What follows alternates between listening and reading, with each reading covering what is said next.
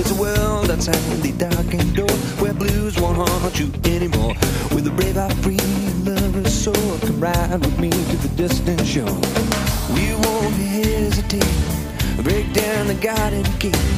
There's not much time. here with uh, staff member Joe Morowski, and we're talking about the importance of having a tobacco and, and free zone and a, a drug and alcohol free school uh, here at Mayport CG.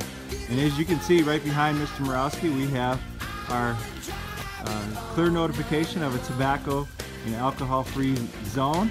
Uh, Mr. Morowski, uh, can you share some of your insight about having a, a, a drug free school and tobacco free zone? Sure can. Part of my job here is also concessions.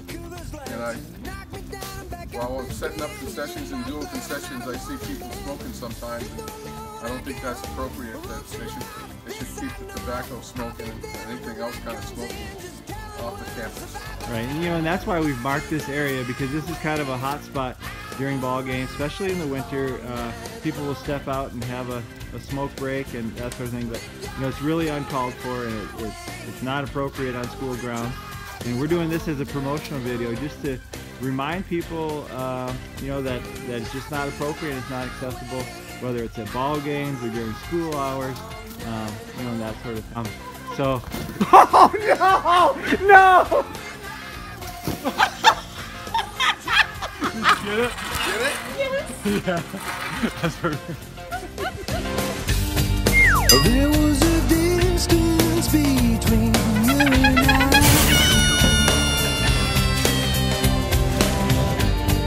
A misunderstanding once, but now we look at